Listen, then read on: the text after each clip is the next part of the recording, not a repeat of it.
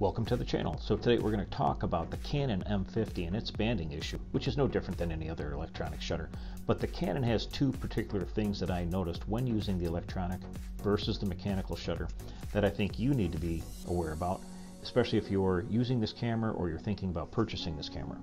I decided to do a little test under different lighting conditions and what I used was the long fluorescent lights that you might see in a school or an office building and then I also used an LED ceiling light. And then I also tested the camera under compact fluorescent bulbs that you might see in a hotel room or actually in your own home. This first shot was actually taken in a school library using the long fluorescent bulbs and you can see that the banding is very prevalent and very closely spaced and I'm shooting at a shutter of 160th.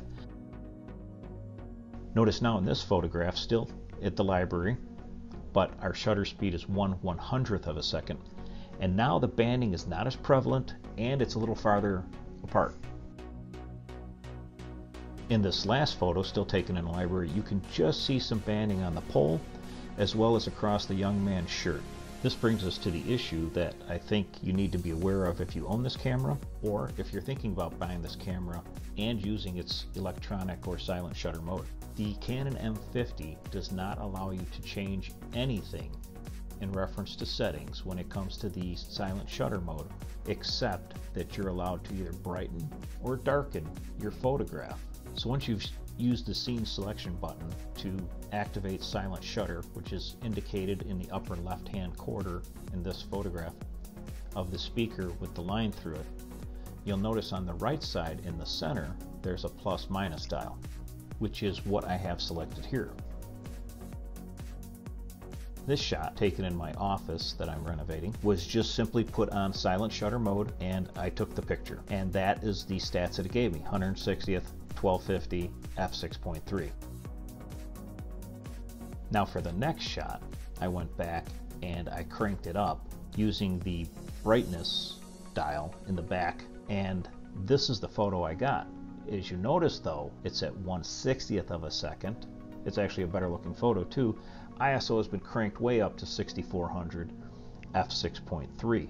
So each one of those bars for the selection equals about a stop to a stop and a quarter when it comes to making adjustments in the silent shutter mode testing the camera under CFL bulbs with the electronic shutter, I set it to 1 60th of a second, ISO 2500 f6.3. As you can see, the banding is very prevalent and closely spaced together.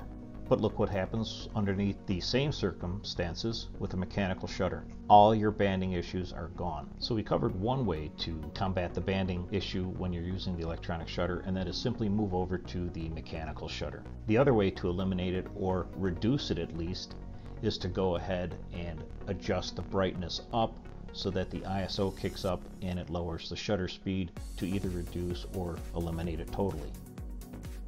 So did you notice the second issue with this camera when you're using a mechanical shutter versus an electronic shutter? Yes, the horrible color shift this camera has when using the electronic shutter or the mechanical shutter. This photo is representative. It was taken at the exact same place, the exact same time. The only thing I changed was electronic versus mechanical. And look at the color shift difference. It's amazing. So what I suggest is I would shoot in RAW and I would shoot in large JPEG to give you maximum flexibility the mechanical shutter photo is actually what the wall and the color look like. So I don't know what Canon's doing with their electronic shutter, but it's absolutely horrible when it comes to rendering color, especially on the M50. I don't know how it is on the other cameras, but the M50 just doesn't do a great job. So definitely make sure you're shooting in RAW so you can have some flexibility later on and really bring back a photo if you need to. Well, I hope you found this helpful, and if you did, definitely give me a like and do consider subscribing. For my next video, I'm going to demonstrate how you can find what is the optimal shutter speed when shooting with an electronic shutter in a venue and you cannot use your mechanical shutter because of the noise. So definitely check back and we'll see you there. Thank you.